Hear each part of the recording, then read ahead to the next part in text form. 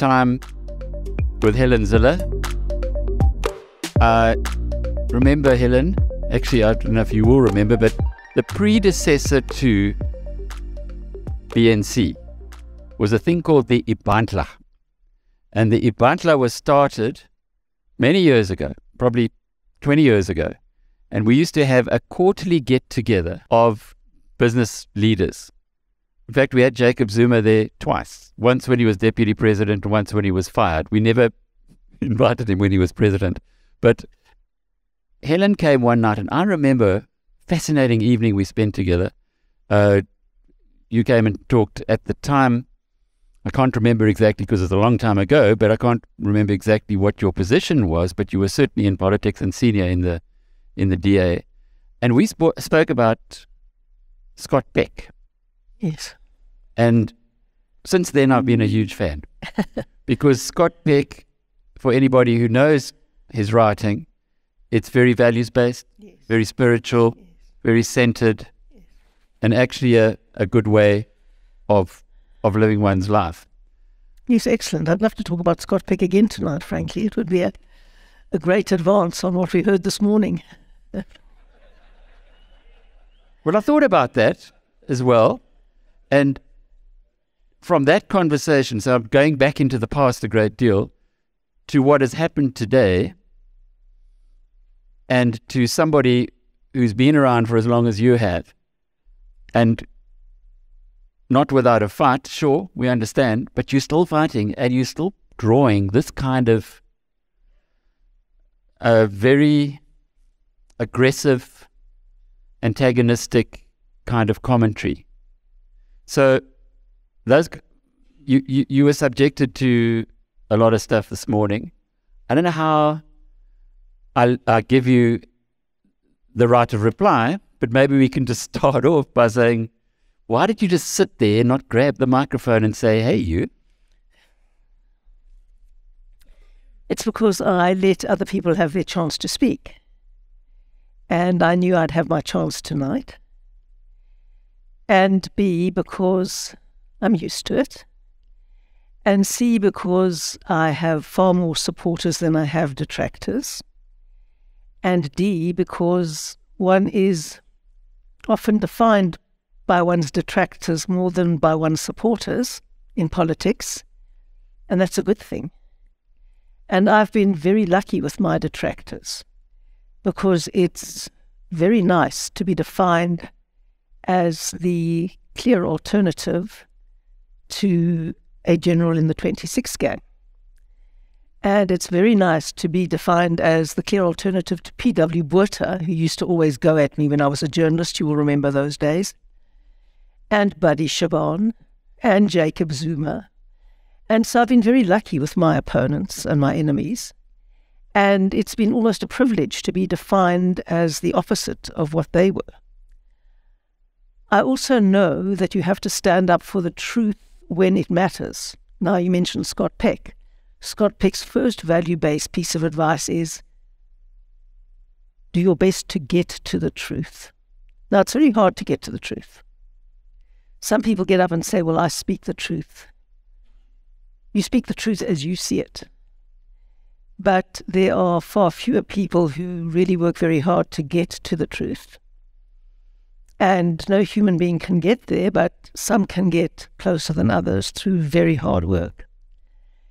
And those who do often have a lot of enemies in their time.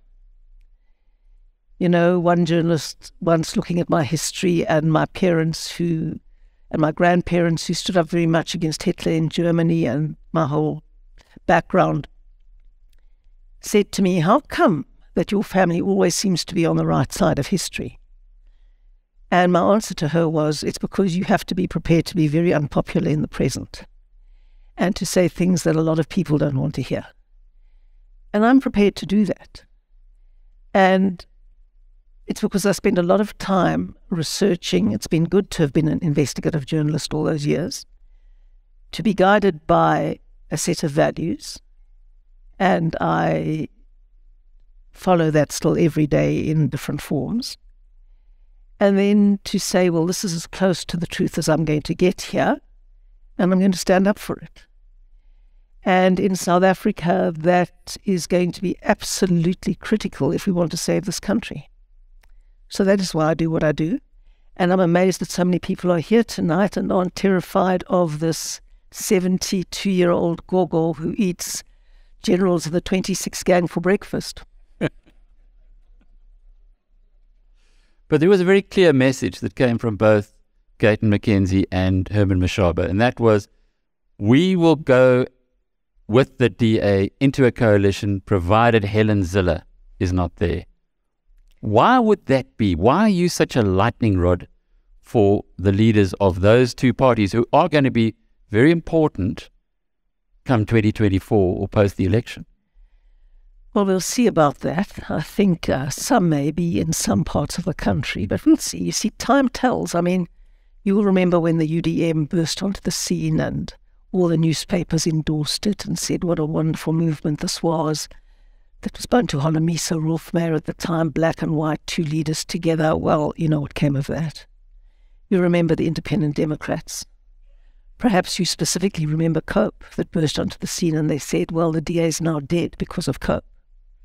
Look what they're doing now. Uh, they're dead. They don't exist. They can't run any processes at all. Look what happened to Agang. So, you know, um, many parties have a certain lifespan. And before every election, new parties pop up. Unless they can build internal institutions, they don't have a long lifespan. And that is one thing that the DA really knows how to do.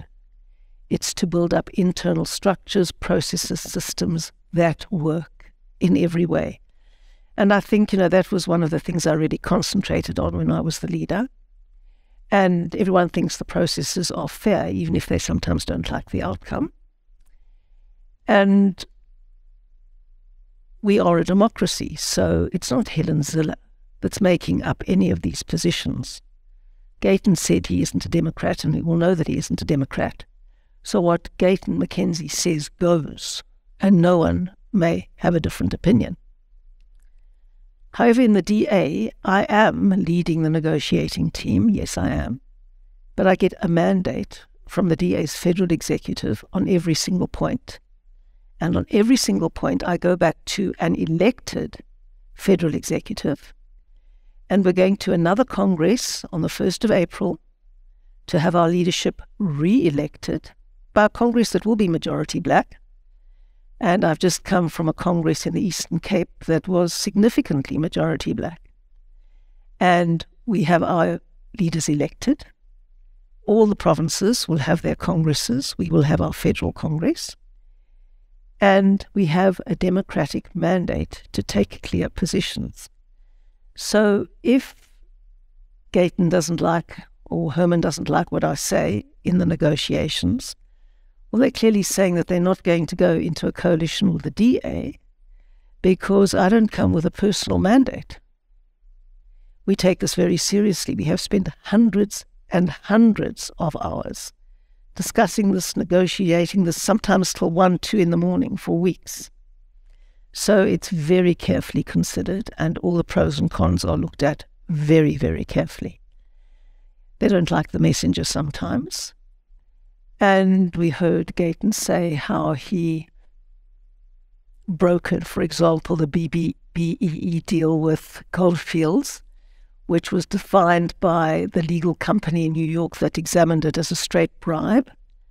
And if he could beat Nick Holland of Goldfields into submission, mm. maybe he gets a bit irritated that he can't beat me into submission, which is fine. I expect someone who defines himself as an autocrat and not a democrat to respond in that way. It's no, no surprise to me whatsoever. But he has a constituency, and that constituency will surely be very valuable to the Rainbow Coalition, as we as we call it in in uh, well, actually, as Corné Mulder uh, defined it or described it. You see, he has got a constituency, and he mobilizes that constituency on race and disgruntlement. He may come here and say he's non-racist, and he doesn't believe in BBBEE. But if somebody says, I've got a BBBEE deal, can you point me in the direction of someone? He says, Well, here's my girlfriend. You see, we have these kinds of contradictions going down. So, what Gayton McKenzie says to an audience of alienated people who are quick to be mobilized when you say to them, well, it's because of the foreigners in South Africa that you haven't got a job. Or it's because you weren't white enough and now you're not black enough. It's the easiest trick in the book. Hitler did it very well to play to people's ethnic fears and to find a scapegoat and to mobilize around this. But let's just go back to the more fundamental point that you make.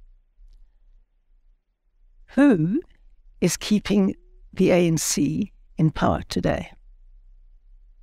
It's not the DA. I was fighting to get the ANC out of power when Herman Mashaba was still voting for the ANC. And I just made a little list of all the places where Gayton McKenzie is supporting the ANC to be in power. Let's just look at the three big metros that have been in the news recently. Johannesburg is one of them. And I hope you'll ask me a few questions about the negotiations in Johannesburg and why we would not give the PA economic development. I'd love to talk to you about that. But in Tshwane, the PA is with the ANC. In Ekurhuleni, the PA is with the ANC. In Nelson Mandela Bay, the PA is with the ANC. In Bitou, which is the area around Plettenberg Bay, the PA is with the ANC. In Knysna, the PA is with the ANC. In Theewaterskloof, the PA is with the ANC. In Cederberg, we just had a big victory today where we took out the PA-ANC coalition out of Cederberg and won it back. We did exactly the same in Matzikama, where the PA is with the ANC. Those are just a few places. I can go on and on and on. So it's really rich to me that Gayton McKenzie or anybody else blames the DA for the ANC takeover of Johannesburg when Gayton McKenzie did what he always said he was going to do, which was go to the PA, would go to the ANC. And in Johannesburg alone, since 2021, he has sold us out to the ANC four times. Four times. The first was just after the election in 2021, where he decided to go with the ANC coalition. They were voted out and down, so he didn't get what he wanted.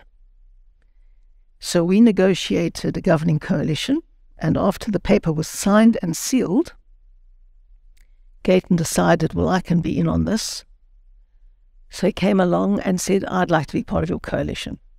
And he has eight seats in Johannesburg, which was the balance of power. So we reopened the negotiations from the beginning, despite the fact that the coalition agreement was signed and sealed.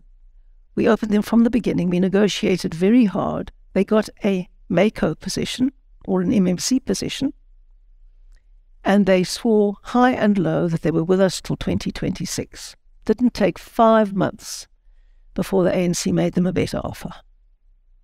And that it's important to just note that it's eight seats out of 270. Correct. Eight seats out of 270. And they had a position on the MayCo, which is a very high proportion. I mean, we had a very small number. We had, I think it was four in Johannesburg. Four when we were by far the biggest party with 71 seats. So we were very generous in these negotiations.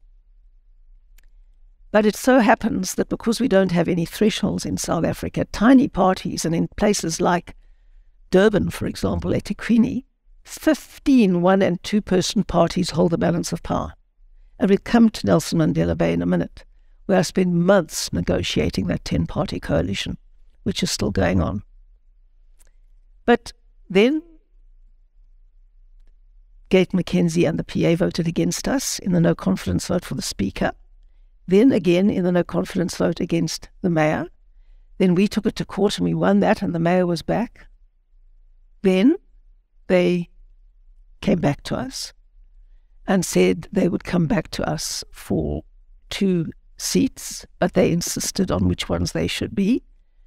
And I did a bit of research, a lot of research, in fact, and understood why they couldn't have economic development. And then they decided that they would go to the ANC because the ANC were, offering them a better deal. So Gayton makes no secret of the fact that he goes to where the best deal lies. And it is rich that he says that the DA of all parties is putting the so called Rainbow Coalition at risk. If you look at all of the places where the ANC is in power, if the PA has any seats at all there, it's the PA that is supporting them in power. In JB Marks, which is the Potchefstroom, they've got two seats. The ANC needs those two seats because they're one short of a majority. Who does the PA put into power? The ANC.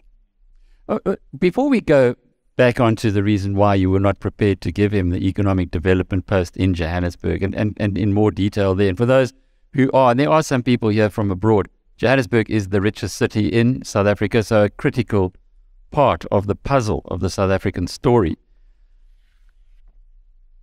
On a number of occasions today, it was said that you will do a deal with the ANC after the 2024 election. In other words, the DA is open to doing a deal with the ANC, perpetuating the criminal syndicate, as you have described them, for years already. The one thing about Herman Mashaba, and I know you've got differences, and I think the whole of South Africa hopes you overcome those differences, but the one thing about him is consistently said we will never ever deal with the ANC. We will never go into bed with the ANC. So just clarify maybe for us, for for the constituents, potential DA voters who are in this room and many who will be watching this in due course. What is the position of the Democratic Alliance with the ANC as a potential coalition partner? Well, let me first deal with, an, another thing about uh, Herman. Yesterday, you'll know that we were trying to get the very competent and able Cilliers Brink elected as the mayor of Tshwane at least four members of Action South Africa voted for the ANC's candidate in that election. So before people start being holier than thou, I think it's quite important to um, perhaps sweep before their own door. But it was a secret ballot. It was a secret ballot, but it is crucially important to know that when you say never ever, especially when it's the day after that happened, one must just be a little bit cautious. And Herman was very clear that they will do deals with the EFF and did do deals with the EFF while he was the mayor of Johannesburg. He clarified that for us. Mm-hmm. He said they will never do a deal with the EFF at national level. But at local level is just as bad. It's not only about filling potholes, etc., etc. It's about the EFF's very, very good at this. They are after appointing the right people in the key strategic positions in the administration, where the tenders are allocated, where the things are allowed to happen. Now, the EFF and the DA, when I was no longer the leader, decided to work together in Johannesburg. And it was the biggest strategic mistake we've ever made. And Herman was the mayor, and he needed their support to get budgets through, etc., etc. And then quid pro quo start happening. And that is how Floyd Brink, for example, got appointed. Now, I don't have to go into too many details about the relationship between Floyd Brink and Julius Malema and what happened in Limpopo. But there's a rich history there. There is a rich history about the EFF's demands around insourcing, for example, around taking no action against land invasions, around tenders and contracts, and key people who take those decisions being positioned in the administration. So don't ever think that local government is just about potholes and streetlights. It is about often for many parties, and I'm not saying it was like that for Action South Africa, but it was definitely like that for the EFF, is how you can siphon off resources in key places by having the right people positioned there. And you can never ever do a deal with the EFF. We learned that the hard way. We decided to draw a line under it, and it was before long that Herman's own caucus was saying he's the EFF's mayor. He goes to the EFF caucus more than he comes to us. We hear about things afterwards. We often hear things from the EFF that he's going to do. And if you want to pass budgets, you have to make huge concessions. So it is true, and he is right, that there was going to be a motion of no confidence in him. And by that stage, he had alienated so many of his caucus that he probably would have been voted out. And the reason that he left had nothing to do with me. I wasn't even the leader at that stage. So why are you the lightning rod? It's an interesting thing. It's because I suppose I get put on the front line in these negotiations, and I do draw the line. I know where the line is, and I don't cross it. And I won't buckle. I take um, Thomas Jefferson's words very seriously when he said, on matters of style, go with the current. On matters of principle, stand like a rock. And I know what a principle is when I see one. You were two years ago, uh, sorry, a year ago at this conference, uh, BNC3, you took us through the options of the EFF and the DA, and that was really at the end of the day the voting option. But but I must come back to the ANC yes, story. Where are you? Where are you on that? You know, it's very interesting that I have spent months negotiating a 10 party coalition in Nelson Mandela Bay to keep the ANC out. And just last week, I was there again doing a coalition oversight group to maintain that coalition and to help keep the ANC out. It would have been a whole lot easier to have said to the ANC, well, why don't we just do a deal and keep all these tiny little parties on the sideline? Much easier. So if we wanted to put the ANC in, we could have done it wherever. Johannesburg, Ekurhuleni. Why are we battling so hard to put together these multi party coalitions that, in most cases, are a disaster? I think we started thinking that coalitions were a bit too easy. And it's interesting that um, people talk to me as if I don't understand coalitions as if I don't understand the art of compromise. I mean, I did the first big coalition in South Africa in 2006. The DA got 42% of the vote in Cape Town. We needed six other parties to get to 49%. We had a minority coalition. I was the mayor with a seven party coalition, which we kept going through a full term. A minority coalition became a majority coalition. And then we won an outright majority. And in 2009, we won the Western Cape with an out, outright majority because the residents of Cape Town, who constitute a very large slice of the voters of the Western Cape, thought that things looked so much better for them under a DA led coalition.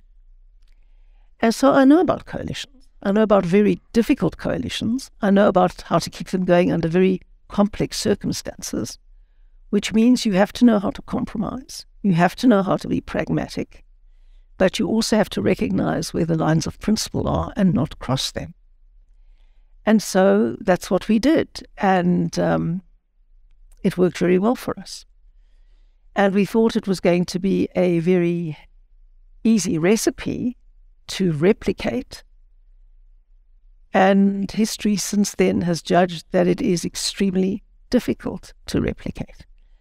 And this month, March, is very nostalgic for me because it'll soon be 17 years to the day that I became mayor of Cape Town in that seven party coalition. So I do know something about coalitions. And because we've been in government most of the time with a clear majority in Cape Town for 17 years, you're seeing the difference, a big difference. I mean, yesterday, the quarterly labour force survey came out. Now, if you're a politician, you follow the quarterly labour force survey very, very carefully because it tells you whether jobs are being created or lost in the economy. And if you care about the poor, you always want to see which way the needle is moving. And it was very good to see that in the last three months of last year, the economy created 169,000 jobs, which was great. But out of that 169,000, 167,000 jobs was created in the Western Cape. Now, only 2,000 jobs were created in all the eight other provinces put together. So if you ask me, which party is pro poor? It is the party that creates the conditions for job creation, for people to get into jobs and to get out of poverty. The DA is the most pro poor party there is. Now, let me come back to your question about the ANC, because I see you want to go back there, and I will go back there. I will go back there. My first answer to you is that we have done everything to keep the ANC out, more than any other party, and we, in fact, have destroyed the ANC effectively in the Western Cape. When they lose power and lose patronage, they collapse. And now they can't even hold a Congress in the Western Cape. And what's more, I started every single branch from Crossroads to the other side of Khayelitsha in all the Xhosa speaking wards. I started them when I when that was my constituency when I was an MP. And today we've got far more branches in those areas than the ANC has. So I've done worked my whole life to keep the ANC out. The worst of all possible worlds after 2024 will be an ANC EFF coalition that will be the worst of all possible worlds. And we all have to do whatever we can to prevent that. Sadly, we've seen through moves not of our own that parties have enabled the ANC EFF coalition to come to power in Johannesburg. It's going to happen in Mogale. It happened yesterday in Tshwane. Not the DA doing that. We're fighting that. The best of all possible worlds is for the DA to get an outright majority. And we got an outright majority here at the last election in Umgeni. And Chris Pappas is doing a great, great job. Now that's a 74% black municipality.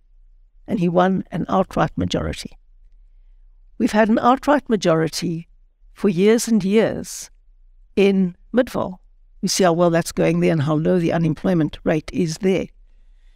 We've got an overall majority in Kouga in the Eastern Cape and in many, in many municipalities in the Western Cape. Gayton uh, sucked a number out of his thumb. We've got 16 clear majorities in the DA. The rest of our 38 governments are coalitions, some working very well, some working very badly. Now, working back from that, these unstable, terrible coalitions are a really, really bad option. And more and more, we would rather be in opposition than be in those coalitions because the DA has only got one brand, and that is where we govern, we govern better. And in some of those coalitions, it is impossible to govern better. In Ekurhuleni, we faced votes of no confidence every single council meeting. And there is a completely captured administration that looks like Eskom from the inside. You can do absolutely nothing. So the mayor's like Andre de Ruyter. You can get nothing done because the whole thing is captured and all the criminal syndicates have got all the tenders and contracts. So it's best not to be in these incredibly tenuous minority coalitions. It's better to be in opposition there. We've learned that lesson and very hard. So that's also a bad option. Being in an opposition coalition that can be stable, in which we can deliver good governance, is a not bad option.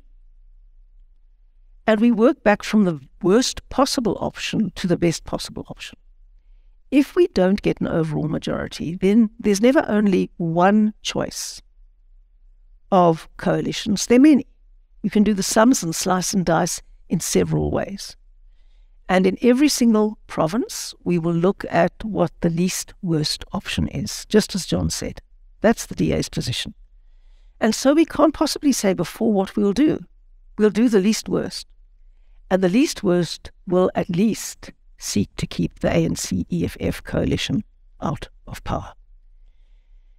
But I think, Alec, I need to tell you about what the second best solution to a DA overall majority is. Second best. And it is this. Many of you will have been following the newspapers and reading the opinion polls. And you will have read, if you read Rapport, which I do every week, you will have read that the ANC now regularly falls under 40% of voters who are planning to vote for the ANC. And on a good day, the DA is less than 10 percentage points behind the ANC. Less than 10 percentage points behind the ANC. We've never come that close. And then we poll all parties. So a total of approximately 12% on the average day 12% of voters say they're going to vote for one of these very small parties who individually are not even going to get 2% of the vote. Now, you can do the sums. If 12% of voters say they're going to vote for tiny parties, if those 12 who most if those 12% who mostly cannibalize the DA's votes, they mostly cannibalize the DA's votes. If they would consolidate behind the one party that can beat the ANC into second place, we would do that. And if the ANC is beaten into second place, that is the big game changer. Because with a strong anchor tenant, a big party, a principled party, a party that knows how to govern, a non racial party, and I hope you'll ask me a few questions about that, because I've got all the Social Research Foundation statistics on diversity in political parties. A non racial party, a party that knows how to govern, a principled party, if that party were to emerge as the biggest party in South Africa, that would be the real game changer. So I'm trying to see through the code. No code. And what, no. what, what I'm reading is you will go for the least worst option Correct. post 2024. And if that means keeping the EFF out of government by doing a deal with the ANC, you will do that. As the second worst option. That is the second worst option. We will try everything else before that, including going into opposition rather than that. Because what we heard today from Gayton McKenzie was that his his partners, the ANC, because he says he sits with these guys, and we know that the discretion is not on uh, on top of their priority list. They are so looking forward to doing something of that nature with the DA because they will be able to run you in the way that they want to. Have you ever heard of misinformation campaigns? The only people who are keeping the ANC in power right now is Gayton McKenzie. And so obviously, you know, the ANC says this to divide and rule and that to divide and rule. I don't take it seriously. I speak for the DA, and I know what the DA says. Helen, when I recently moved to the Western Cape, and it has been like moving from one country to another. It truly has been. Uh, I loved Johannesburg, and I still do love Johannesburg, and we still have many friends there. But it it is this frog in a boiling pot scenario where you until you see something completely different, it's very difficult to realize there is something different many people in South Africa know this. They see Cape Town works, they see the Western Cape works. And there is a huge difference. Again, now you've just emphasized it with the employment figures, the latest employment figures. Those are, those are crazy. 169,000 jobs, of which all but 2,000 were created in one of the nine provinces. Hmm. Why can't the DA take that, take that prospectus, take that template, and get 70% of the vote in South Africa? Because it on rational grounds, it should be a slam dunk. Well, not many people vote on rational grounds. I mean, you can say that as much as you like, but then uh, Gayton McKenzie will go to an area and say, You're poor because the white people aren't, and you're poor because they're foreigners here, and they are taking your jobs. And I will make sure that if a foreigner's in, an, in a hospital, I will turn off their oxygen and I will bring God back into schools. How do you counter that?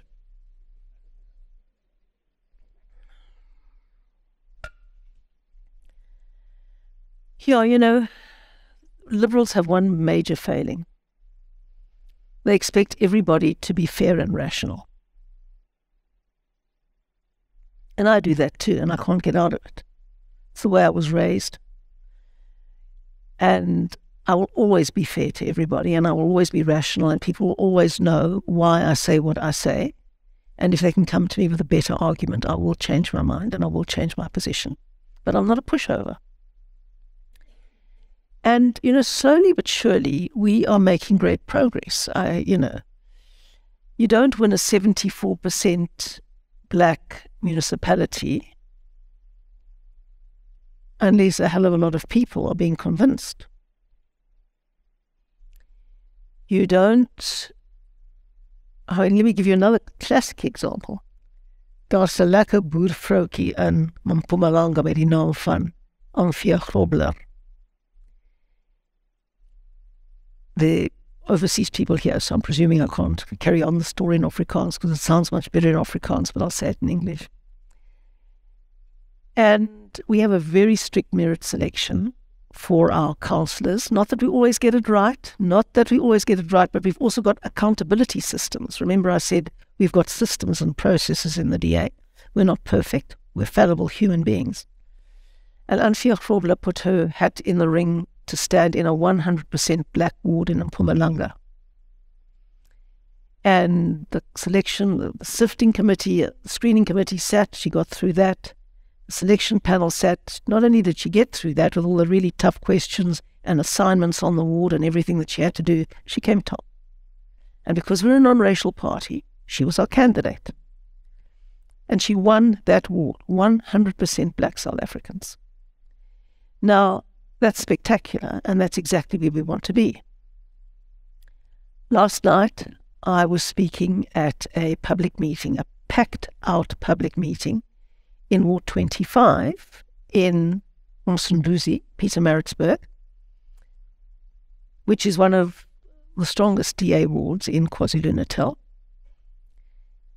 And usually people are pretty apathetic in a ward like that because they think, oh, well, the DA is going to win anyway, so why, why worry? I was the guest speaker there. Packed out. I mean, more people than here today. Packed out. And our candidate there is Reggie Kanyile. Now, there were lots of people who wanted to, to be the candidate there because it's a slam dunk ward. You're going to get elected. And we went through our processes, tough questions. I know how tough they are because in my job I have to write them. And only I know what they are. And they're in different categories leadership, political knowledge, knowledge of the ward, past experience, all of that stuff and then you have to do an assignment in front of the panel and everything. Reggie Kanyile came top. Reggie Kanyile is our candidate in, I think, an almost 100% white ward. It's not entirely 100% white ward, but nearly. Now, there's no 100% white anything anymore. There are 100% black places, but not 100% white places, which is a good thing. And long may it be like that and increase like that, because we're very committed to non racialism and Reggie's our candidate. He gave a brilliant speech last night explaining why he is so committed to non racialism. Now we will get there. The founding father of our party, who was a farmer from the Free State, Jannie Steytler, I don't know if you're old enough to remember him, but I do.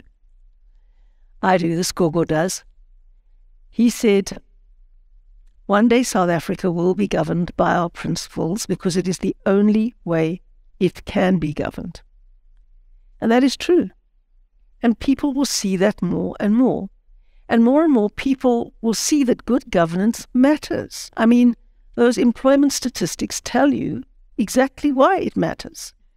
And for example, being two stages less on load shedding because we have developed our hydroelectric scheme at the Steenbras Dam.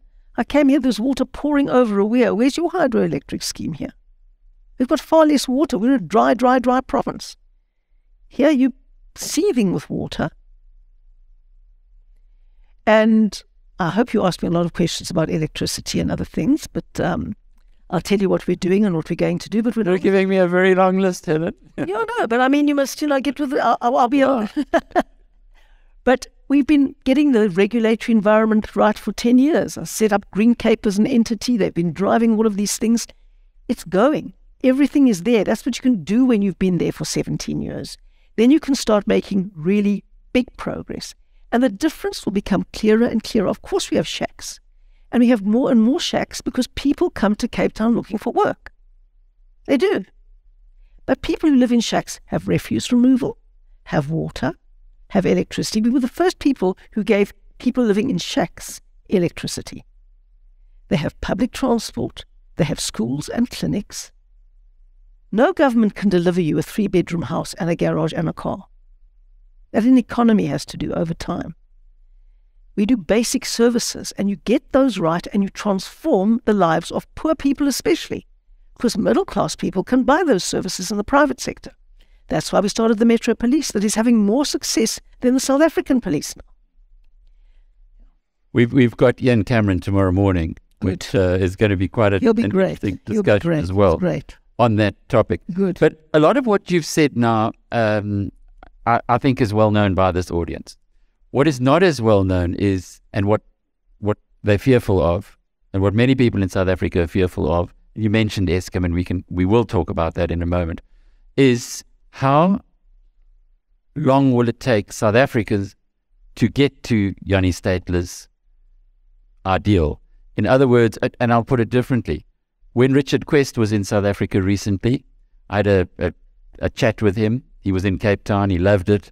He, of course, was appalled by the load shedding. And I asked him towards the end about the the moving towards a, a different type of democracy in South Africa i.e., where the ANC is no longer in power. And he said he's, from his global experience, and I, I, I know he's an outsider, but he put it really well. He said that if that were to happen, the young democracy would have to act more or act older than its age. So, so it's almost like you've been at this now for decades. Hmm. We've seen the progress there, there's no question about what has been achieved. But are we at, at a kind of tipping point potentially, which could see a dramatic change in 2024? Or does politics not work that way? Well, you know, how does the liberation get, liberation movement get beaten? First very slowly and then quickly. It's the same way people go bankrupt. So that's how it happens. And it's gathering momentum. There's no question about that. And the ANC is going to fall under 50%, and it may even fall under 40% in the next election, and it certainly will do that in some provinces. But you know, I look at Johannesburg. Now, in Johannesburg, we got delivered a nine party coalition, folks. Uh, and a nine party minority coalition, if you're not going to succumb to what effectively is extortion. And I don't succumb to extortion. And people then in Johannesburg expect the DA to bring miracles. I say, guys, 26% of you voted for us. Now, voters can vote for whoever they like. They're free to vote for whomever they like. But then they mustn't be surprised at the government they get. Now, if you've got 26%, and I often say it this way it's very simple. If every person who voted DA just persuades one other person who didn't vote DA to vote DA, we get an overall majority. And then you're talking. Then we can fix things. Then we can do what happened in Cape Town. It's going to take much more time in Joburg because, you know, when I became the mayor, it was difficult. And I took over from the ANC, things were pretty broken but they weren't nearly as devastated as they are in Johannesburg. And the administration would still have some understanding about the separation between party and state, which is another core principle of the DA, which very few other parties uphold. And they would understand that the job of the administration is to implement the policies of the party that won the election. We're a million miles away from that in many of the other governments that we take over. And to try and fix that on a nine and 10 party coalition, I'm telling you, is impossible. So, are you going to continue doing nine and 10 party coalitions in the long term uh, hope that what happened in Cape Town and what hopefully, in, from your perspective, is happening in uh, Nelson Mandela, Bay can be replicated? Well, Nelson Mandela Bay is a very special case. And let me explain to you why that has a chance of working. I'm not 100% sure that it will, and I'll tell you why. The MEC for Cooperative Governance and Traditional Affairs in the Eastern Cape has threatened to change the system of government in Nelson Mandela Bay from an executive mayoral system to an executive committee system. Now, that is very significant because in an executive mayoral system, we can have a 10 party coalition where the DA got 40% of the vote and it takes nine other parties to get to 50% of the vote. And five of those parties have only one public representative who, on their own, can decide whether the ANC or the DA governs Nelson Mandela Bay, which is the very opposite of democracy. We'll leave that there. And if the Section 12 notice were to change the status of Nelson Mandela Bay to an executive committee system, they would all be out of their lucrative positions as members of the mayoral committee, and it would be put together by proportional representation, which would mean that the DA would have the same number of seats as the ANC, because we got 40%, we beat the ANC there. They got 39%, we got 40%.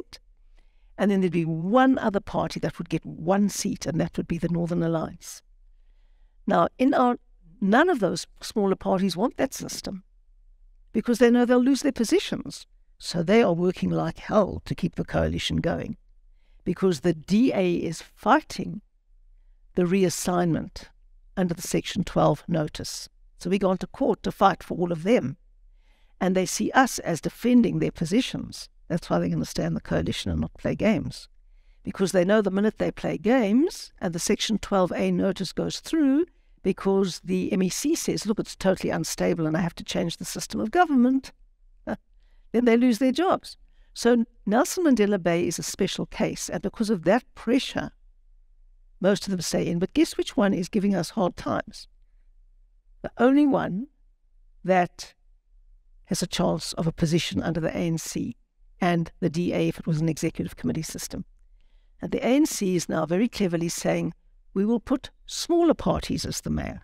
That's why they put COPE's Makwarela in as the mayor in because they're trying to make sure that all the support the small parties will come to them after the next election. So in all these places with the multiple things, they're saying to all of the smaller parties, come to us, we'll look after you. And we're going to make you mayors. They're going to, they've offered the ATM, the mayor in Mogale City now. And they've gone to the NA, which is the only other party, except for the DA and the ANC, that'll have a position on the executive committee if it comes into office. And they say to them, we'll make you the mayor. And so guess which is the only party that's giving us problems in the 10 party coalition? the one that knows that they could be a mayor if the Section 12A notice goes through. So that is how it works, folks. And we are there trying to talk about principles and policies and values. That is how it works with 90% of them. And the ANC knows that. And don't think that brown envelopes don't pass under the table. You know, I told you I was in the Msunduzi. Now, Msunduzi got two by elections coming up next week, Wednesday, the 8th of March. One of them is in Ward 2 and one of them is in Ward 25. The DA is very likely to win Ward 25, and the IFP could take Ward 2 off the ANC. That means the ANC will need a coalition to stay in power. It already does. It's, of course, one of the small parties went with the ANC. Always happens, always happens. Now they say to us, and that was me last night. Helen, will you go into a coalition there? And I looked at the numbers and I said, this will take another 10 party coalition without any of the contextual factors that are keeping mm. the coalition alive. Now, I go back to the FedEx, not my choice. We've got democratic systems in the DA. And like Durban, I say, these are the facts, these are the figures, these are the numbers. Do we go into coalition here? And I can tell you right now, the FedEx is going to say over our dead body. We stay in opposition there. Why? Because we cannot govern in that situation. Because every second day, someone else will get a bigger offer from the ANC, and our government will be totally unstable. We can't govern like that. We just cannot live from council meeting to council meeting wanting to know which person has now been extorted, which person has now got a better offer. No. So we, the people, need to wait. No, you the people have to vote for the only party that can bring good governance.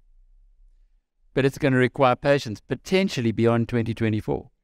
Well, we're going to have to see. I mean, you know, um, if we go to stage eight load shedding, which the criminal cartels, in which two cabinet ministers are involved, will take us to if they can make a few extra billion, people might get peed off enough to um, to get the ANC at around 37%, and then everything can change. And if we can consolidate the opposition vote rather than fracture it, a hell of a lot can change.